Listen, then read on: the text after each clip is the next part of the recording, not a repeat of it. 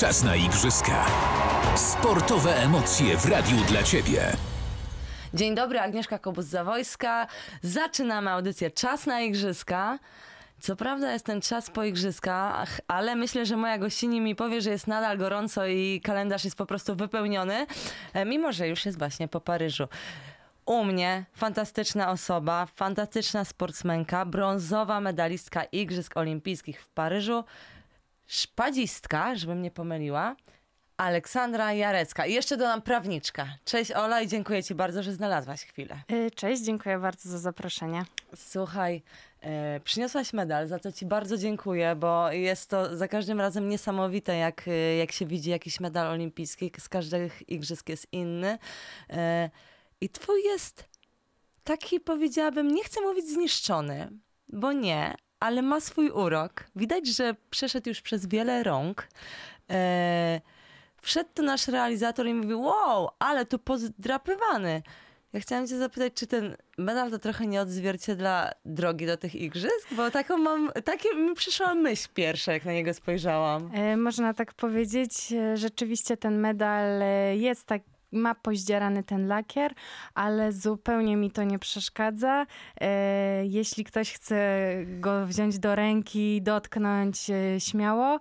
E, Czy nie boisz tylko... się, że zaraz będzie czarny? Nie, nie, nie. Zu- zupełnie mi to nie przeszkadza. Jest to dla mnie taki, taki symbol tego osiągnięcia i, i m- cały lakier może zejść. e, Zupełnie wszystko będzie w porządku. Powiem ci, że aż dreszcze mam, jak- o tym mówisz, bo ja na początku się strasznie mnie tym zainspirowałaś, już nawet jak powiedziałaś tutaj przed naszą rozmową, bo ja na początku strasznie się wkurzałam e, na swój medal, że właśnie się, e, właśnie te brązowe mają to do siebie, powiem ci, że się e, szybko chyba jakoś zdrapują e, i się wkurzałam, a ty mówisz, że totalnie ci to nie przeszkadza, że e, ci się to podoba, to samo mi powiedziała kiedyś Gosia Hołbkowalik i przestałam na to zwracać uwagę, bo ona powiedziała, że to jej pokazuje, że dał, dał radość wielu osobom, bo po prostu to przeszło przez, y, przez wiele rąk. Jak patrzysz na ten medal, to co sobie myślisz na początku? Mm, Jest we mnie ogromna radość dalej. Emocje już trochę opadły, ale y, jak patrzę na ten medal, to gdzieś w środku y, dalej przypominam sobie te wszystkie, y, te wszystkie emocje, tą całą radość z tego osiągnięcia. Szczególnie, że jest to pierwszy medal w historii w szpadzie kobiet, y, więc tym bardziej jest to dla mnie takie, takie niesamowite osiągnięcie to, co udało nam się zrobić, e, to, że to medal drużynowy, e, no ogromna radość. Pamiętasz coś z tego f- finałowe, finałowego, nie, walki o brązowy medal z tego pojedynku? Czy już masz E. taką... Czasem dziura jest taka, prawda? Jak są duże emocje. E, Ja tego dnia byłam wyjątkowo spokojna i dalej pamiętam, e, pamiętam ten moment, e, kiedy były te cztery sekundy. E, Pamiętam to ostatnie trafienie. Wiem, że wtedy po prostu strasznie chciałam trafić, strasznie chciałam, e, żeby ten medal był e, na naszych szyjach. I- Jak ty to zrobiłaś, dziewczyno? Czy ty rozumiesz, że wszyscy już oglądali? Ja się totalnie nie znam na szermierce, ale sprawiłaś to, że bardzo mi się spodobała. Przede wszystkim mam wrażenie, że to jest taki elegancki sport. To wyglądało tak prestiżowo, tak wyjątkowo. Naprawdę to było fantastyczne, ale to tak myślę dzięki tobie, bo po prostu już tak się odwróciłam, mówię, nie no, tyle czasu i nagle po prostu zdobywasz ten punkt. Jak ty to zrobiłaś? E, Czy wy to ćwiczycie? Nie wiem. T- Trochę y, ćwiczymy. Trochę Mhm. ćwiczymy w tym sensie, że y, z trenerami rozmawiamy o takich sytuacjach, jak się zachować, jak taktycznie do tego podejść. Na pewno trzeba zachować duży spokój, bo to są tylko 4 sekundy i, y, i tak jak mówię, no, to, co się stało, ja dalej nie mogę w to uwierzyć, że to tak się skończyło, że to w te 4 sekundy zadałam to trafienie, że później no, wypracowałam po prostu piękne trafienie e, w priorytecie. Nie wiem, jak to. I nie wiem, jak to jest możliwe, bo wiem, jak to zrobiłam, oczywiście, bo to wszystko było zaplanowane, ale, ale naprawdę no, jest to dla mnie dalej niesamowite i dalej gdzieś tam trochę nie mogę uwierzyć, że to się udało. Y, i jest naprawdę we mnie taka wielka radość. Wiesz, że obrazek twojej y, radosnej twarzy, to mam wrażenie, że był jednym z, częstszych, z częściej pokazywanych obrazków tych ich igrzysk. I mnie na przykład do tej pory, jak widzę ten twój krzyk, to po prostu ciarki. Mam wrażenie, że twoja radość też e, sprawiła, że ludzie zaczęli zwracać uwagę po prostu na was, na szermierkę. Y, Mam nadzieję, że nie tylko przez tą radość, ale również przez samą walkę, przez Na same pewno trafienia. też, ale to było Ale, e, y, emocje po prostu. Tam było tak. widać wielkie emocje. Tak, no to była radość, której nie potrafię, nie potrafię teraz opisać.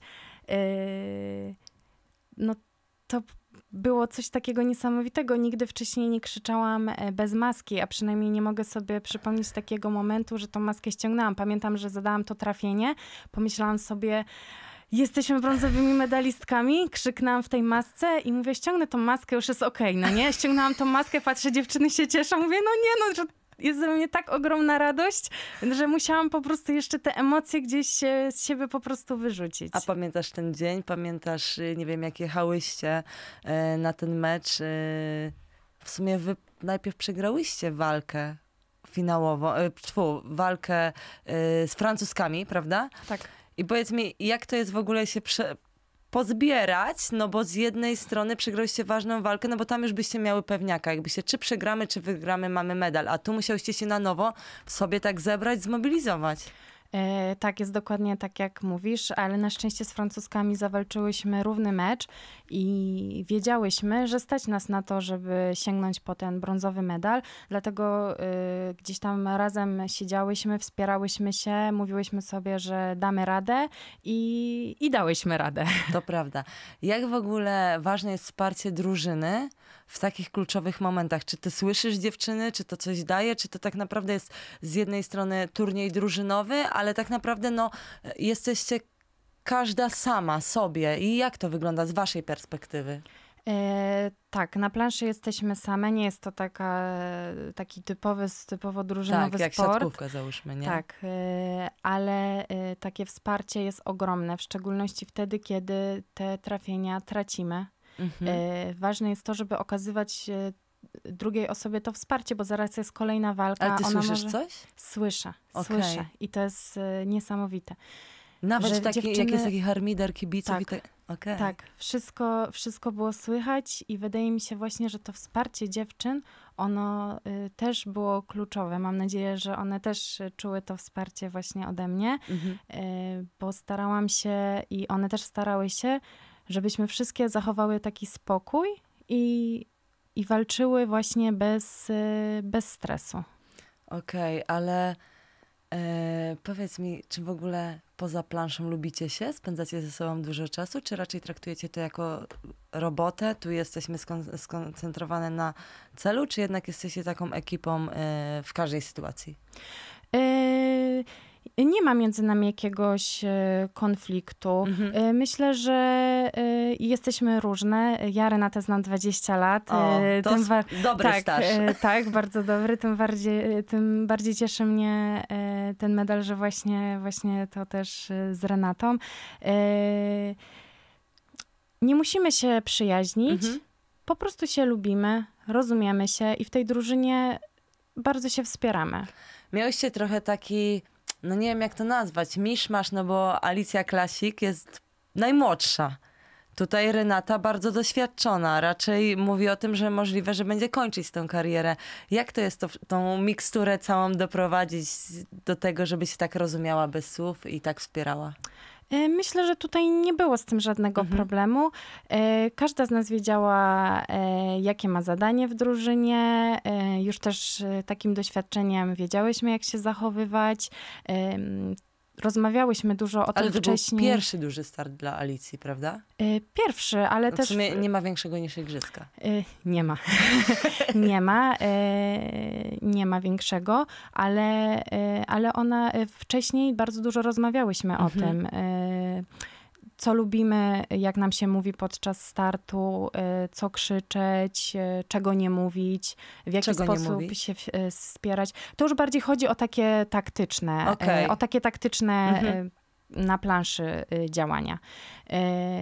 I po prostu wiedziałyśmy, e, w jaki sposób się wobec siebie zachowywać, żeby bardzo dobrze się wspierać i żeby nie było przede wszystkim u nas e, chaosu, tylko taka atmosfera właśnie e, spokoju. A powiedz, jaka w ogóle była ta wioska olimpijska? Tak z, jakbyś jakieś kulisy nam trochę igrzysk zdradziła. Masz porównanie do Tokio, prawda? Co prawda tam były okres pandemii. Więc domyślam się, że tu było po prostu fenomenalnie, prawda? Ale E, tak, bardzo mi się podobało. E, ja tutaj na nic nie, nie narzekałam. Em, Trochę może to doświadczenie e, z igrzysk wcześniejszych. Wiedziałam, jak to, jak to wygląda wszystko w środku. E, Mieszkałyśmy w 8 osób w jednym mieszkaniu, więc e, mógł to być jakiś dyskomfort, ale miałyśmy to szczęście, że mieszkałyśmy z dziewczynami z Floretu. okej, I czyli znałyście się wszystkie. Znałyśmy się, e, szanowałyśmy swoją przestrzeń, więc tutaj nie było żadnych takich konfliktów między nami. Jeśli chodzi o inne aspekty, to miałyśmy też salę treningową. Obiekt był e, w wiosce, nie musiałyśmy nigdzie jeździć. e, A więc- jedzenie? Bo Klaudia Zwolin- Zwolińska mi powiedziała na przykład, że e, uważa, że w Tokio było le- bardziej takie może nie, że lepsze, ale no lepsze w sumie, takie ba- bardziej pełnowartościowe, większy wybór, ja- jak, jak ta stołówka olimpijska. Mm, tak, w Tokio na pewno było, było więcej do wyboru, jeśli chodzi o kuchnię świata. Wydaje Mhm. mi się, że było tam naprawdę wszystko. Tutaj był mniejszy wybór, ale nie zdarzyło się, żebym poszła na stołówkę i nie miała czegoś do zjedzenia, więc, e, więc tutaj jeśli chodzi o jedzenie, to też za bardzo nie, nie mam na co narzekać. A jakieś takie najfajniejsze miejsce w wiosce olimpijskiej dla ciebie? Może nie miejsce, ale taki czas, bo była możliwość, żeby moją rodzinę zaprosić do wioski, więc y, przyjechali moi rodzice, moja siostra, y, mój mąż i mój syn i y, mogliśmy pospacerować, zrobić sobie zdjęcia przy kołach olimpijskich, więc... I każdy to mógł taki- zaprosić rodzinę? Y, tak, trzeba było To wcześniej, wcześniej zgłosić, y, musiały być miejsca, przepustki i, i można było z nimi spędzić czas właśnie w wiosce. To chyba była wielka chwila, zwłaszcza dla y, najmłodszego członka twojej rodziny, czyli E, synka. Tak, tak. Bardzo mi się podobało. W wiosce był taki zafascynowany, bo to wszystko było dla niego nowe i, i naprawdę bardzo, bardzo dobrze spędził ten czas. A powiedz mi, a on na przykład y, oglądając ten medal, będąc w wiosce olimpijskiej, już wiedząc, że mama jest medalistką olimpijską, mówi o tym, że też by chciał? Y, No, on jeszcze do końca tego nie rozumie. Mhm. Y, Ile ma lat? Ma niecałe dwa lata. Okej. Więc jeszcze tak nie rozumie, y, nie rozumie tej idei igrzysk. Na pewno bardzo kibicuje, bo bił brawo i krzyczał mama. Więc gdzieś tam, gdzieś tam jest takim kibicem, ale jeszcze no, on nie, nie rozumie tego, Mhm. co to, są To igrzyska. rzeczywiście, za wcześnie. Za ale, wcześnie, tak. ale myślę, że dla ciebie to były fantastyczne emocje. A ty byś chciała, żeby sport był jakąś taką dużą częścią jego życia? E, tak, na pewno bym chciała, żeby trenował sport. E, nie wiem, czy szermiarkę. E, myślałam bardziej o hokeju na lodzie. O, to ale, ciekawe bardzo. E, ale tak, ale Czyli chciałabym... musicie do Mariusza Czerkowskiego się odezwać. O. e, A czemu hokej na lodzie akurat? E, razem z mężem e, podoba nam się ten sport i, i, to, i to, to dlatego. To taki bardzo y, kontaktowy, trochę agresywny nawet bym czasem powiedziała, no nie? taki powiedziałabym męski sport, To dlatego prawda. chyba. To prawda, trochę E. tak. y, Szermierka i hokej na lodzie to totalnie dwa bieguny, Tak, mam wrażenie. E, A spotkałaś kogoś, y, czy nie wiem, czy byłaś na jakimś y, start, na jakichś startach Polaków, które zrobiły na tobie jakieś wrażenie, czy nie miałyście E, okazji? Nie miałyśmy czasu na to. Wcześniej przed zawodami ja trenowałam, e, bo nie brałam udziału w turnieju indywidualnym, więc jeszcze Mhm. trochę tego czasu miałam, żeby właśnie przygotować się do startu drużynowego, więc też skupiałam się bardziej na, na treningach, a już po, po starcie e, dwa dni później wylatywałyśmy do I domu. duże obowiązki chyba były. E, tak, dzień po starcie zdecydowanie e, cały dzień był zajęty. A powiedz mi, kogoś poznałaś, kogo chciałaś, kogoś zobaczyłaś? Co prawda byłaś też już w Tokio, więc pewnie takie emocje już ci wcześniej towarzyszyły, ale y, coś tak ci zostało w pamięci? Ym, chyba, chyba nie. Mhm. Ym, Jak wyglądał dzień po zdobyciu medalu? Był bardzo ciężki. Cięższy niż sama E, walka? Chyba tak. E, Bardzo długo nie mogłam zasnąć. Tyle było we mnie emocji. Chyba o drugiej dopiero wróciłyśmy e, do wioski. Mhm. E, Rano musiałyśmy wstać, było kilka wywiadów. e, Byłyśmy na, na tym przemarszu pod wieżą Eiffla z medalami, no co było takim niesamowitym Jak na wybiegu, jak modelki. Tak, tak. Naprawdę niesamowite to Ale byłyście tam we było. trzy, czy mi się wydawało? Tak, byłyśmy, byłyśmy w trójkę. A dlaczego?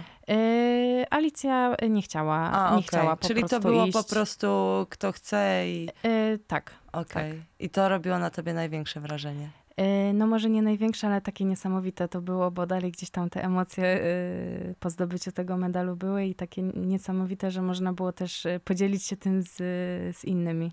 A jak przywitanie w domu polskim przez kibiców? No wspaniałe też e, to było. Naprawdę bardzo dużo osób e, przyszło, żeby nam, e, żeby nas zobaczyć, żeby nam pogratulować, więc też było to takie niesamowite. Szkoda, że, że tak mało czasu tego było tam w tym domu polskim, bo udzielałyśmy też wywiadów. A mogło być jednak troszkę więcej tego czasu właśnie Dla kibiców. dla kibiców którzy A- przyszli. Tak. Okej. No to powiem ci, że chyba napięty czas dla ciebie, no bo co by nie mówić, szermierka to taki trochę sport niestety od igrzysk do igrzysk. Jak bardzo zmieniło się twoje życie? Na Czy w ogóle czujesz to mocno? Na razie nie czuję tego tak O. bardzo. Na razie na pewno czuję taką radość z tego i no, ogromnie się cieszę, ale nie czuję, żeby, żeby to jakoś e, zmieniło moje życie. A przywitanie w klubie e, miałaś jakieś? E, tak, tak, miałyśmy. No, e, to jest niesamowite, jak wiele osób e, cieszy się z tego medalu i e, niesamowite jest właśnie, jak podchodzą i mówią, że oni oglądali te walki, że tak im się to wszystko podobało, że ta szermierka jest takim pięknym sportem, że tyle emocji w nich było, że czasem mówią nawet, że płakali Ja też e, płakałam. razem przyznam ze mną.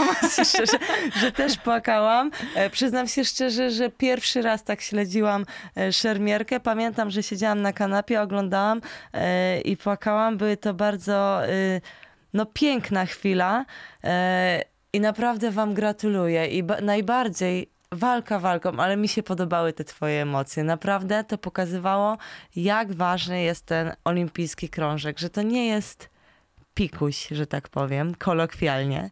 E, I jeszcze przyznam się szczerze, twoje słowa, że ciebie miało to nie być, no to myślę, że ciarki ludzie mieli po prostu na skórze, bo trochę udowodniłaś, że jak cię nie chcą, jak nie drzwiami, to oknem. Mhm. Czy nie uważasz, że tak trochę ta twoja historia wygląda? Mm, To znaczy, ja już na pewno jadąc na igrzyska, y, wiedziałam, że ja już nic y, udowadniać nikomu nie muszę. Mhm. Ja wiedziałam, że wracając po ciąży, po tym urlopie macierzyńskim, że wtedy ja muszę udowodnić, że ja dalej jestem e, świetną zawodniczką, dalej mogę stanąć na podium Pucharu Świata, mogę toczyć równe walki z tymi najlepszymi zawodniczkami. Wtedy wiedziałam, że ja muszę coś udowodnić. A na igrzyska jechałam z myślą, że ten start po prostu mi się należał za moją ciężką pracę, za wszystkie starty, y, za to, że byłam trzecia na liście.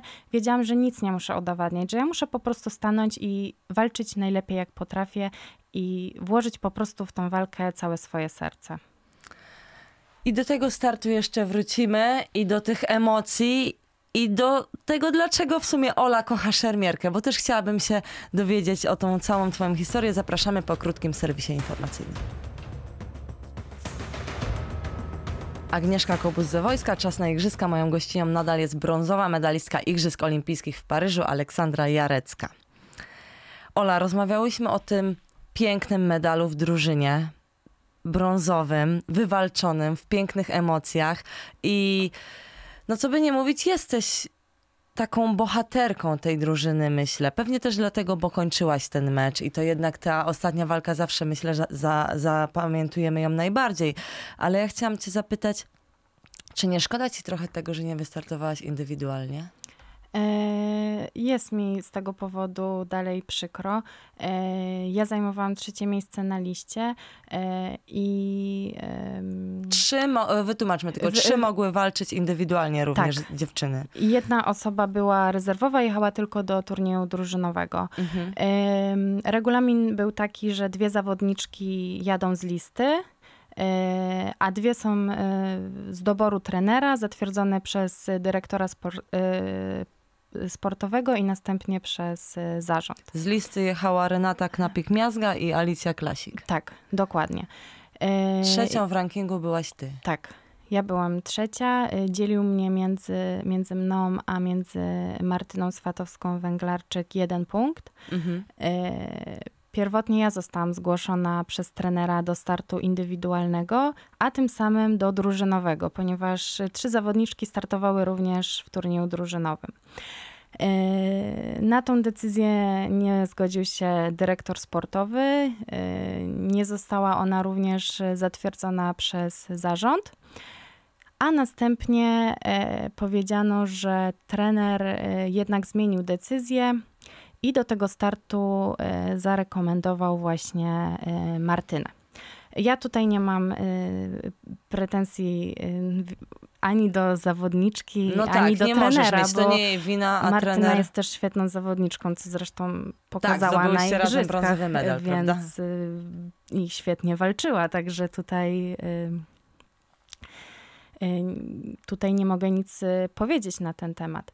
Ale to jednak ja zajmowałam to trzecie miejsce w rankingu. E, I mogłoby się wydawać, że to już koniec tej historii i że ja po prostu pojadę do tego turnieju drużynowego jako zawodniczka rezerwowa, ale niestety okazało się, że dalej e, nie można było podjąć decyzji, że zarząd i dyrektor sportowy tej decyzji nie mogli podjąć. Zrobiono dodatkową rywalizację między mną a Ewą Trzebińską. Ewa e, zdobyła kwalifikację do Paryża z drużyną, prawda? Ta drużyna w 50% Tak, ona była- się zmieniła. Tak, Ty ona, e, ona była w drużynie, e, która wygrała Mistrzostwa roku. Świata, tak, w Mhm. zeszłym roku. E, Ta kwalifikacja była już e, prawie pewna. Nie była ona pewna po tych Mistrzostwach Świata, ale było to bardzo dużo Tak. punktów i, i te kwalifikacje były praktycznie pewne.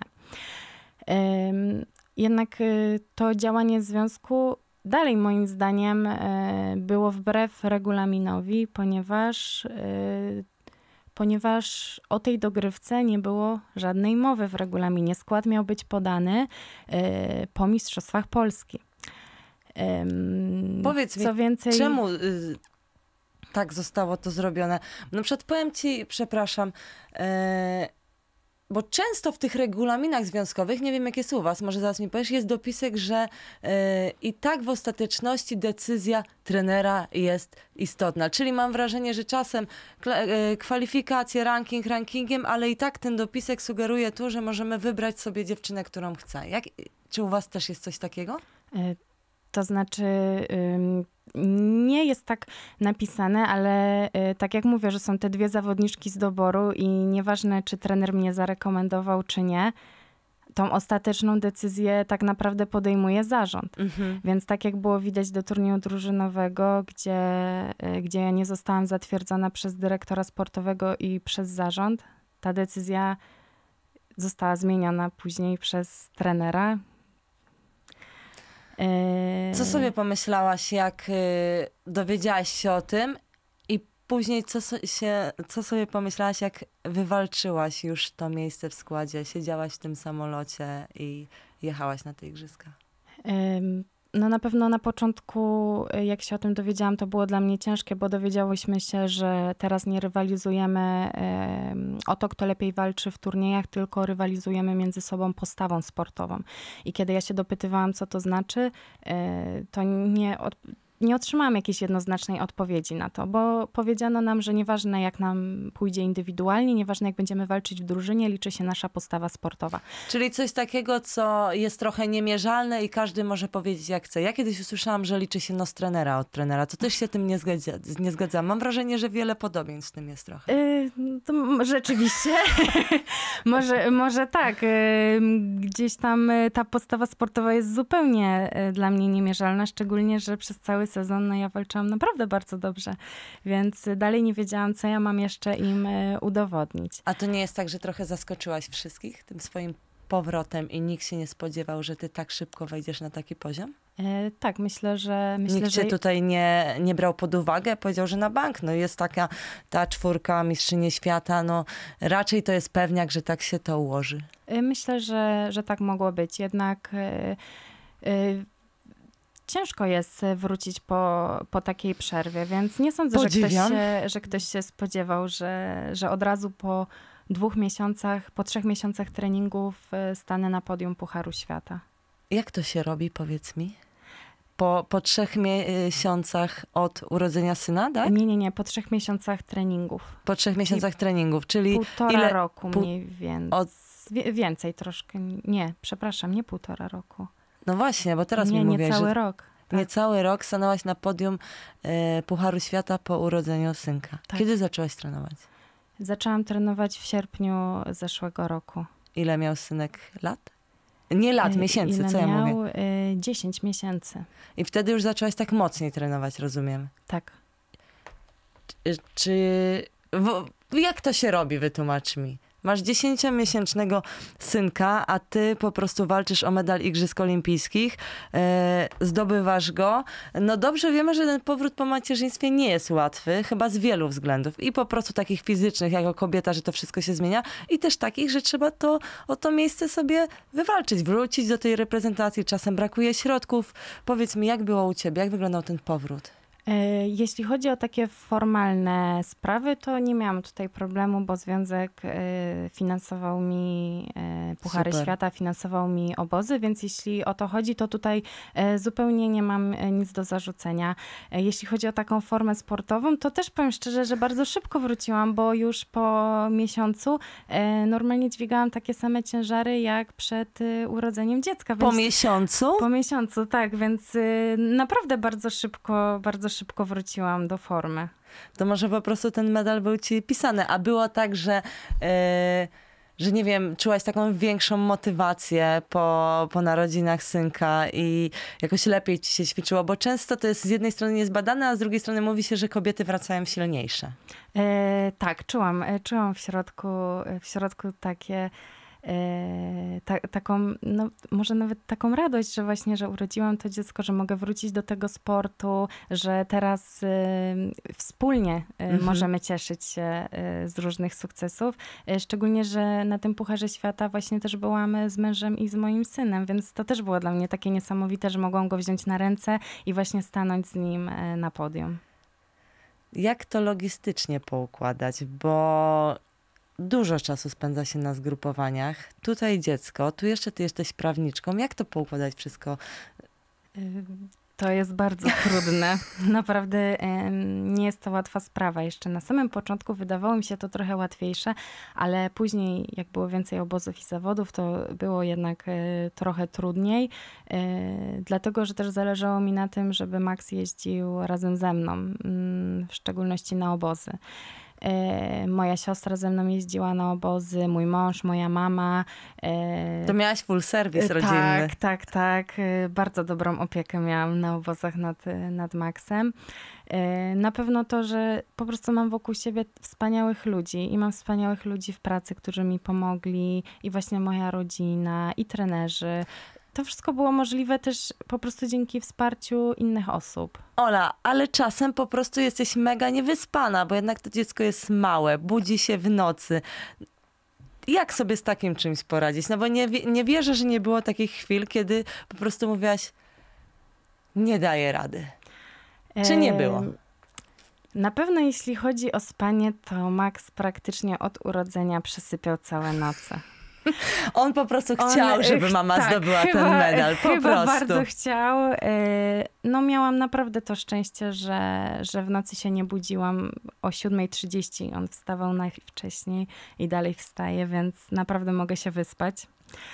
Y, Na pewno byłam bardziej zmęczona, bo gdzieś na obozach czy w ciągu dnia jednak y, zajmowałam się Wracałaś nim i jednak- i spędzałam z nim cały, cały czas, więc, więc nie było takiego momentu, że mogła się położyć Mhm. i nic nie robić. I drzemka po, potreningowa, prawda, przed Oj, drugim nie treningiem. pamiętam, kiedy ostatnio, ostatnio mogłam drzemać. y, Ale na pewno to jest taki też y, piękny czas, który, który możemy razem spędzać, więc, y, no więc ja nie mam naprawdę na co, na co narzekać. Chciałabyś pojechać do Los Angeles? Twój synek już będzie starszy. Będzie więcej rozumiał na pewno. Y, Chciałabym pojechać, y, chciałabym zdobyć tą kwalifikację, jednak zastanawiam się cały czas y, nad tym, czy to, co zdarzyło mi się w tym roku, nie zdarzy mi się w przyszłości. Bo było to dla mnie naprawdę ciężkie przeżycie i, i nie chciałabym, żeby to się powtórzyło. A szermierkę, no naprawdę uwielbiam, jest to moja pasja. I gdzieś tam. Chodzi ci o te wszystkie komplikacje, jeżeli chodzi o klasyfikację, e, tak. Nie kwalifikacje, chciałabym- przepraszam. Nie chciałabym, żeby to wydarzyło mi się drugi raz. To co trzeba zrobić? Jak myślisz, co, co trzeba zmienić, żeby to wszystko było takie prostsze, bardziej klarowne? Ja uważam, że powinny być e, jasne zasady, bo gdy są jasne zasady, każdy wie, co musi zrobić, jaki wynik powinien osiągnąć, żeby na te igrzyska pojechać. Tak naprawdę ta trochę, no nie wiem, nazwę to walka e, z tą twoją kwalifikacją, walka ze związkiem miała chwi- była chwilę przed Igrzyskami Olimpijskimi. Czy to nie bałaś się, w sumie jeszcze wtedy nie wiedziałaś, ale że to wpłynie właśnie na wasze emocje, na wasz nastrój, na waszą drużynę negatywnie? Bo jednak jest to wyczerpujące takie psychicznie. Mm, Dla mnie rzeczywiście było to wyczerpujące, ale e, ja jestem tak silna, że po prostu sobie z tym poradziłam. Udało mi się to wszystko jakoś, jakoś przepracować. A z dziewczynami na początku nie było jakoś ciężko po tych wszystkich sytuacjach? Czy umiałyście to po prostu totalnie odłożyć na bok i teraz mamy klapki na oczy i medal przed oczami? W- Nie czułam ze strony dziewczyn jakichś negatywnych, negatywnych e, emocji. E, Też jestem bardzo wdzięczna e, Renacie, która była razem ze mną i, i właśnie, że mnie wspierała przez ten czas, e, że chciała mnie wysłuchać i to było dla mnie takie, takie właśnie e, no, bardzo wspierające. Ona też y, od razu chyba po waszej walce mówiła, to pamiętam w wywiadzie, y, że ona, ja się teraz przez ciebie popłaczę, kurczę, że ona y, bardzo wierzyła w ciebie, ciebie i wiedziała, że, że dasz sobie radę nawet w tak trudnej sytuacji. Y, jak ważne są słowa takiej koleżanki z drużyny? No, bardzo ważne. Tak jak już mówiłam wcześniej, że to wsparcie. Nawet w tej sytuacji, gdzie był błędny wynik, No właśnie. Chinka mnie trafiła. Okazało się, że jest zupełnie na odwrót. Ja nie wiedziałam, że ten wynik jest błędny, bo jest to takie skupienie na planszy. Ciężko jest się zastanowić nad poprawnością Bo tego nie ma w wyniku. ogóle czasu tam. Ja pamiętam, że ja się odwróciłam i Renata mi powiedziała tak właśnie spokojnie, że Ola, może być taka sytuacja, że zostały tylko te cztery sekundy i będziesz musiała ją trafić. Ojejku. I jakoś tak, naprawdę tak błogo na mnie to wszystko, e, te, te jej słowa e, zadziałały i, e, i uwierzyłam w to, że rzeczywiście mogę, mogę w te cztery sekundy trafić. I zrobiłaś to. Tak. A powiedz mi, czy współpracujecie jakoś z psychologiem, czy ty współpracujesz, y, zwłaszcza przy tak dużym obciążeniu z każdej strony, no bo ta twoja droga do medalu olimpijskiego była bardzo gorzka. Na szczęście na koniec pojawiła się ta słodycz w postaci tego medalu. E, Każdy ma e, jakiegoś indywidualnego psychologa. Ja akurat nie współpracuję z nikim, ponieważ nie jest mi to zupełnie potrzebne. E, Byłam kiedyś na rozmowie e, z psychologiem, ale nie bardzo wiedziałam, co mam powiedzieć i nie wiedziałam po prostu, po co mi to jest. Y, więc, y, więc tutaj ym, takim wsparciem jest moja rodzina dla mnie i Właśnie to jest dla mnie zupełnie wystarczające. Właśnie chciałam cię zapytać, czy ty masz taki sztab psychologiczny, to że rodzina i w tych momentach na planszy Renata. Y, tak, można tak powiedzieć, dokładnie tak jest. To powiem ci, że, że dobrze mieć taki sztab, jeżeli to się, to się kończy brązowym medalem. Łączysz sport z pracą. Z pracą na bardzo wysokim poziomie. Jesteś prawniczką. No nie oszukujmy się, nie jest to łatwe. Jest to bardzo y, trudne. Jak ty to wszystko robisz?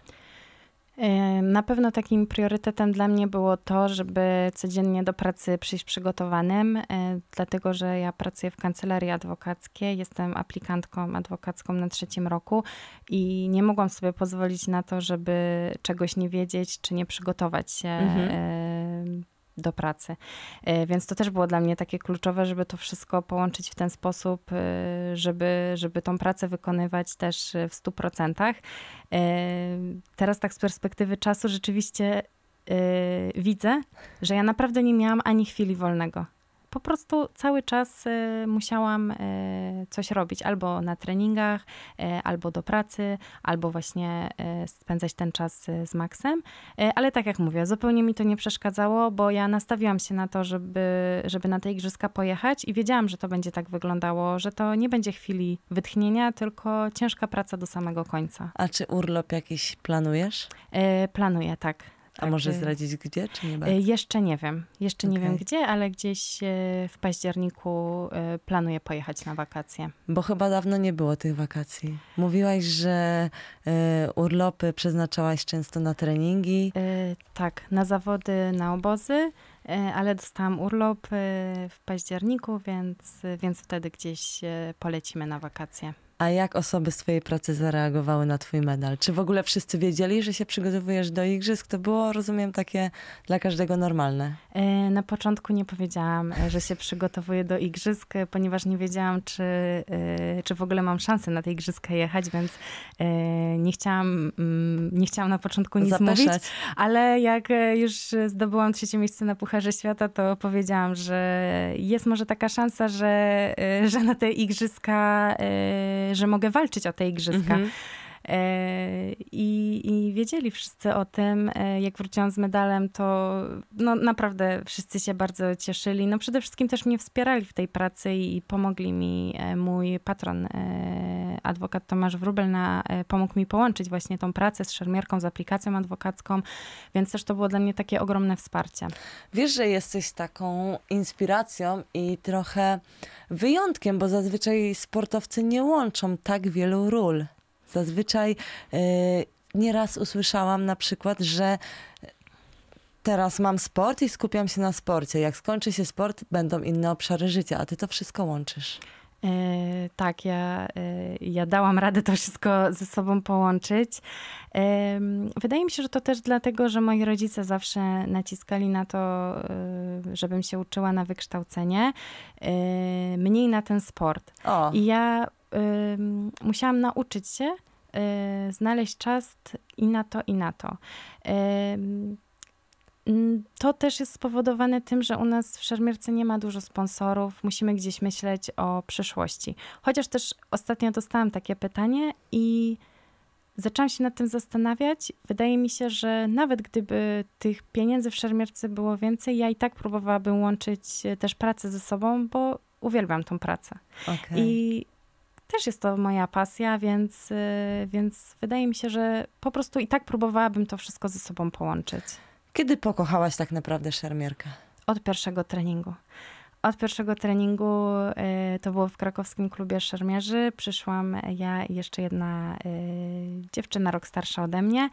Y, pamiętam, że już na pierwszym treningu pozwolono nam zawalczyć tym sprzętem Mhm. elektrycznym, szpadą. I od samego początku pokochałam ten sport. I wtedy już myślałaś o olimpijskich medalach i olimpijskiej karierze, czy raczej traktowałaś to tak bardziej zabawowo? Mm, Ja już od dziecka chodziłam pięć razy w tygodniu na treningi. Ile lat chyba, miałaś? e, Dziewięć lat. Więc chyba o takiej zabawie e, nie było mowy. No na pewno strasznie mi się to podobało i ja już od dziecka, od kiedy poszłam e, na pierwsze treningi, mówiłam moim rodzicom, że ja marzę o medalu Igrzysk Olimpijskich i strasznie bym chciała mieć ten medal. I pamiętam to od dziecka, mówiłam rodzicom, że chcę ten medal Igrzysk Olimpijskich. To powiem ci szczerze, że ty od małego po prostu na wszystko ciężko pracowałaś. Od pierwszego treningu, od pierwszego trafienia. E, tak, ja śmiało mogę powiedzieć, że na ten medal Igrzysk już pracuję 20 lat. Jaka jest Ola Jarecka prywatnie? Po tak poza sportowo. Co lubi, jak lubisz odpoczywać? Mm, O ile odpoczywasz? Grać, y, już teraz tak. już teraz, jak jest y, trochę więcej czasu wolnego, y, uwielbiam grać w gry planszowe. Okej, jaka jest ulubiona? Y, horror Warkam. Ojej, nie To są znam. takie gry y, z mitologii Cthulhu. O, to bardzo ciekawe, powiem ci szczerze. E, niestety musimy kończyć, ale jeszcze chciałam się ciebie zapytać, czy jak oceniasz w ogóle stan polskiej szermierki? Czy czujesz, że po tym medalu waszym może być lepiej? Y, tak, myślę, że, że Dzieci tak. się będą, nie wiem, bardziej garnąć do tego sportu? Jak uważasz? Y, Uważam w ogóle, że taką seniorską grupę mamy naprawdę bardzo mocną i, y, i świetne są, y, są dziewczyny, no nie, nie tylko te, które były na igrzyskach, ale, ale także, także po, pozostała kadra, czy Magda Pawłowska, czy Kamila Pytka, czy też te młodsze dziewczyny, które dopiero zaczynają tą swoją Czyli nie karierę musimy się seniorską. martwić. Nie, myślę, że zupełnie nie ma się o co martwić. Mam nadzieję, że więcej dzieci też może zacznie trenować, że gdzieś ta szermierka poprzez te igrzyska stanie się jednak bardziej popularna, bo naprawdę uważam, że jest to wspaniały sport. Ola, ostatnie trzy szybkie pytania mam do ciebie. Gdybym nie była sportowcem, byłabym? Adwokatem. Nie zaskoczyłaś, przyznam szczerze. Najlepsze sportowe wspomnienie Medal Igrzysk Olimpijskich. i moje motto. Nigdy się nie poddawać. I tego życzymy wszystkim, naszym słuchaczom, sportowcom, po prostu wszystkim. Bardzo Ci dziękuję za rozmowę, bardzo Ci gratuluję. E, No i ja mam nadzieję, że w Los Angeles Cię zobaczymy, bo mam wrażenie, że, e, że rzeczywiście po prostu to wszystko kochasz, to widać, to czuć i bardzo Ci jeszcze raz dziękuję za te emocje i za to, że mogłyśmy dzisiaj porozmawiać. Dziękuję bardzo.